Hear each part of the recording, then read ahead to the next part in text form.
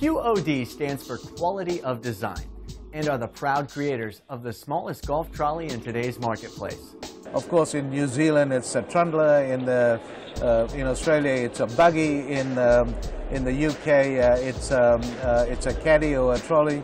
In the US, it's a caddy. So there's uh, there's all sorts of names around the world. It's 30 centimeters by 42 centimeters by 27 centimeters. Means that it fits into a lo- into, into a golf club locker easily. I've traveled along in an airplane um, with the two of these cars all the way from Sydney to uh, Orlando. Um, it's really built for traveling convenience and storage. Look how cool this is. This thing folds up to where you can put it in your truck your car and, and you got plenty of room. This is really sweet. And then it, uh, it folds up and carries your bag. That's amazing. Amazing it is, featuring an umbrella stand, USB port, manual and variable speed controls, a commercial grade lithium battery, Uh, the battery it uses is, um, weighs uh, a little over two kilos, so it's two and a half kilos. We're able to do 36 holes of golf with that battery, and it makes it um, e- extremely convenient. but its most compelling feature Is that you could put down this trolley, fold it, and put it into your car in less than one minute. QOD is assembled in five easy steps. Step one, the handle. Two, the upright. Three, the height adjustment. So juniors or ladies can use it.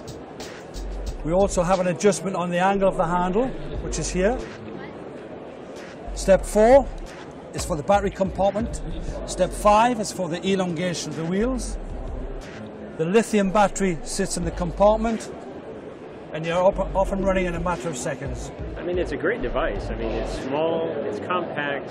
Um, you know, it's designed for you know the walking golfer. You know, and I mean, I'm as an American, health is important to me. It's important to my family. It's surely important to my father who loves to golf. I surely would use this because he likes to walk. Uh, and even as a gift for him, I know he'd use this thing, right? He'd use it until the wheels fall off. And it looks pretty solid state, so my guess is, is that he'll have this for as long as he's golfing. So we're providing a facility where it makes it convenient for the golfer to walk the course.